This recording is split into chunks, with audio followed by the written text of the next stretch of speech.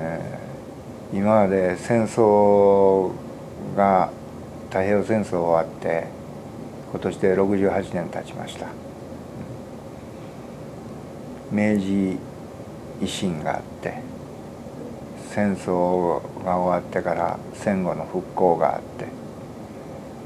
それぞれの年数が経ったんですけれども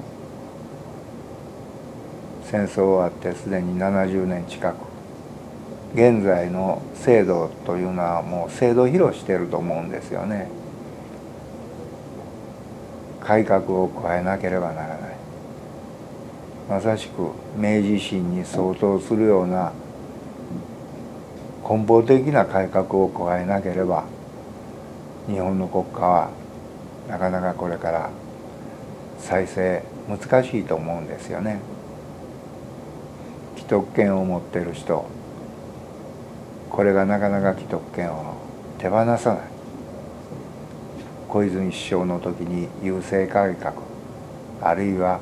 道路公団の改革がありましたけれども小泉さんが首相を5年間やってもその2つの改革しかできなかった。既得権を持っている人が非常に多い。改革しなければならないことが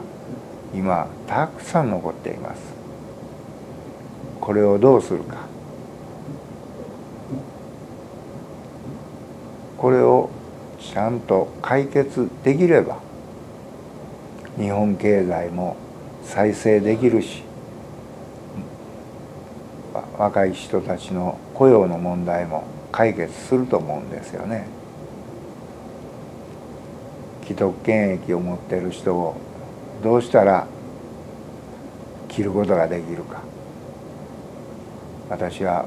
国民の皆さんと一緒にその問題について大いに議論をして